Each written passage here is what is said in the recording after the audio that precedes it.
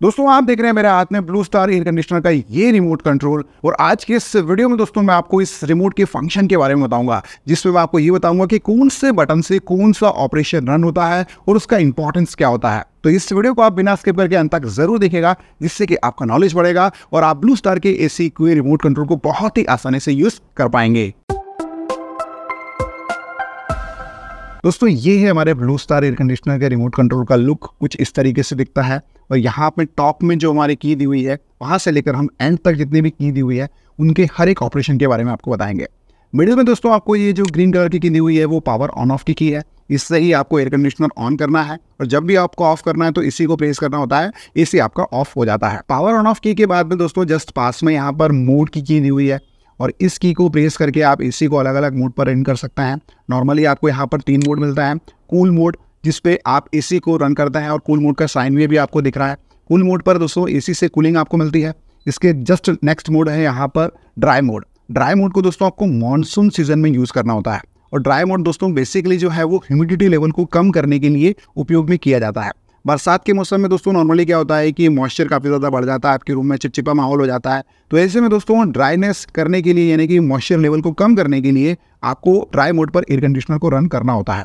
उसके जस्ट बाद अगला मोड है फ़ैन मोड और फ़ैन मोड पर दोस्तों एसी जो है वो केवल अपने ब्लोअर से नॉर्मली फ़ैन को ही रन करता है और आपको नॉर्मल एयर प्रोवाइड करता है। इस समय दोस्तों कूलिंग नहीं होती है। तो दोस्तों, अगर जब कभी भी आप मान के चलें कि एसी की अगर आपने सर्विसिंग कराई है तो उस समय के लिए आपको टेक्नीशियन ये सलाह देता है कि आप फ़ैन मोड पर एसी को चलाएँ, जिससे कि क्या है कि नॉर्मली आपकी कूलिंग कॉल्स वगैरह जो है वो आसानी से क्लीन हो जाए। तो फ़ैन मोड का अलग अलग टाइम पर यूज़ है। जैसे आपकी रिक्वायरमेंट हो, उस हिसाब से आप फ़ैन मोड को यूज़ कर सकते हैं। नेक्स्ट की है यहाँ पर फ़ैन की की और फ़ैन की की को आप सेट कर सकते हैं। उसकी अलग अलग स्पीड होती है वन टू थ्री जिससे आपको जो भी स्पीड रखना है, उस पर आप सेट कर सकते हैं। नॉर्मली जो है वो ऑटो यहाँ पर स्पीड होती है तो ऑटो पर अगर आप सेट करेंगे तो फ़ैन अपने हिसाब से स्पीड को एडजस्ट करेगा।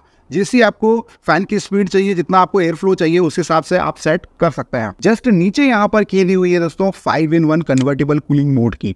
जैसे ही दोस्तों आप इस की को प्रेस करेंगे तो A C hundred percent capacity eighty percent capacity sixty percent capacity और फोर्टी परसेंट कैपेसिटी में वर्क करेगा। तो यहाँ पर अलग अलग मोड पर आप एसी को रन कर सकते हैं।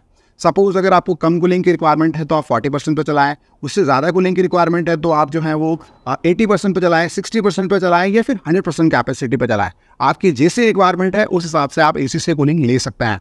जस्ट इसके पास में फाइव इन वन टर्बो की की दी हुई है तो ये भी कन्वर्टेबल कूलिंग मोड की ही एक प्रोसेस है। इस पर जब कभी भी आप एसी को चलाएँगे तो एसी टर्बो मोड पर काम करेगा, यानी कि फ़ैन की स्पीड को इंक्रीज कर लेगा और एसी का टेम्परेचर भी डिफ़ॉल्ट 16 डिग्री सेट हो जाएगा और ऐसे में आपको एसी से फास्ट कूलिंग मिलना शुरू हो जाएगी।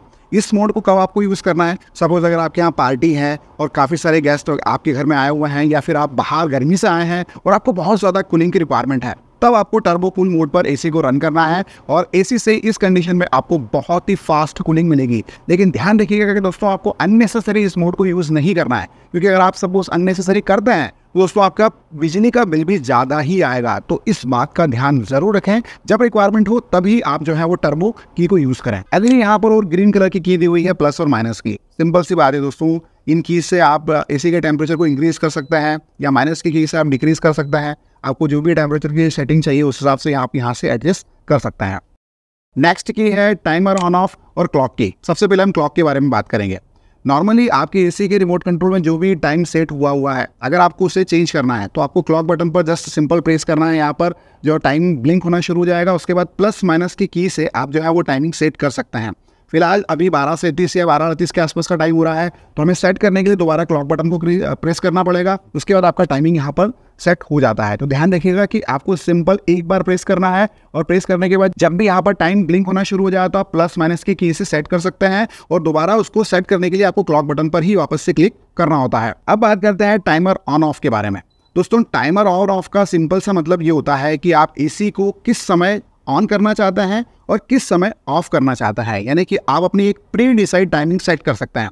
उसको सेट करने के लिए जस्ट आपको टाइमर ऑन पर क्लिक करना है, उसके बाद प्लस माइनस के बटन से आप जो है वो टाइमिंग सेट कर सकते हैं और उसको सेट करने के लिए ही आपको वापस से टाइमर ऑन पर क्लिक करना होता है।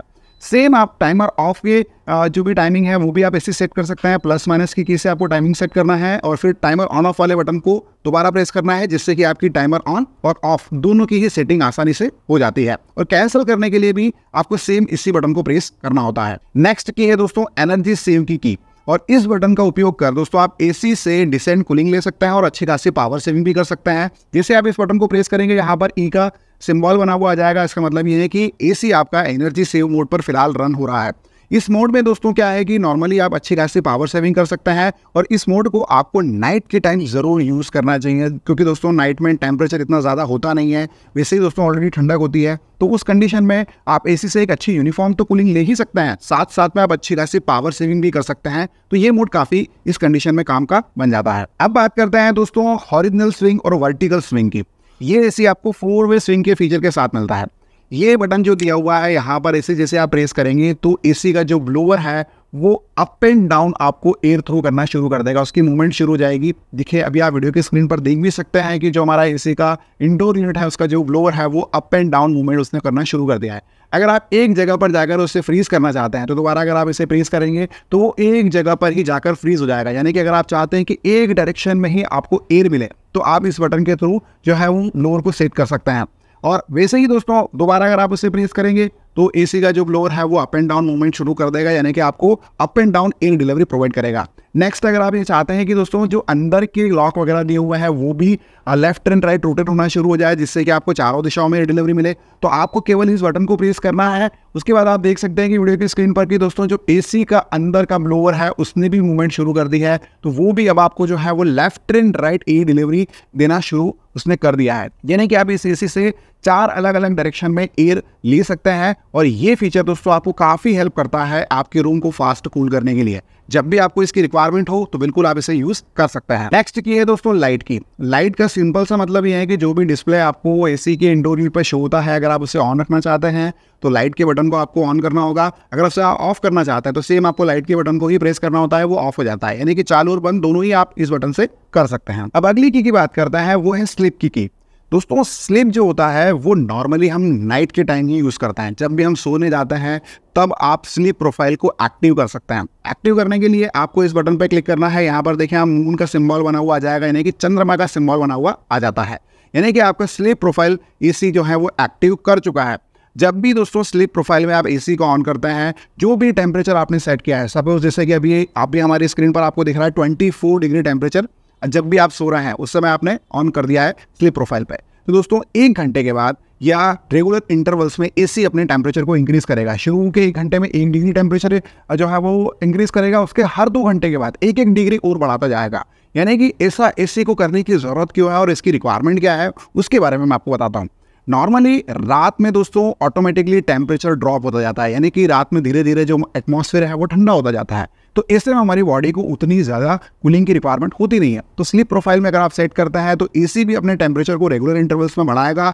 इससे दोस्तों ये होगा कि आपको एक कंफर्टेबल नींद आएगी, यानी कि आप बिल्कुल डिस्टर्ब नहीं होंगे, आपको कंबल लेने की ज़रूरत नहीं पड़ेगी। डिसेंट कूलिंग आपको एयर कंडीशनर से मिलेगी और इस कंडीशन में आपका एसी पावर कंजप्शन भी काफ़ी कम करेगा, क्योंकि अगर मैक्सिमम टेम्परेचर पर काम करेगा तो सीधी सी बात है, उसकी कंप्रेसर को कम मेहनत करना पड़ेगी। तो यहाँ पर आपकी अच्छी खासी पावर सेविंग भी होगी। इसलिए आप रात को सोते समय स्लीप प्रोफ़ाइल के फीचर को ज़रूर इस्तेमाल करें। तो दोस्तों, ये रही डिटेल इन्फॉर्मेशन ब्लू स्टार के इस रिमोट कंट्रोल के बारे में, जहाँ हमने दोस्तों वन बाय वन आपको सारे फ़ंक्शन के बारे में डिटेल में बताया है। उम्मीद है दोस्तों, आपको हमारा ये वीडियो ज़रूर अच्छा लगा होगा। अगर आपको हमारा ये वीडियो ज़रा सा भी पसंद आया हो तो प्लीज़ इस वीडियो को अपना प्यार देना मत भूलिएगा और ज़्यादा से ज़्यादा इस वीडियो को अपने फैमिली फ्रेंड्स मेंबर के साथ ज़रूर शेयर कीजिएगा। और अगर आपके कोई सवाल है तो प्लीज़ कमेंट कीजिए, मैं आपके सवालों का रिप्लाई आपको ज़रूर करूँगा। दोस्तों, आज के वीडियो में इतना ही। मिलता है बहुत जल्द एक न्यू वीडियो में। तब तक के लिए जय हिंद, वंदे मातराम।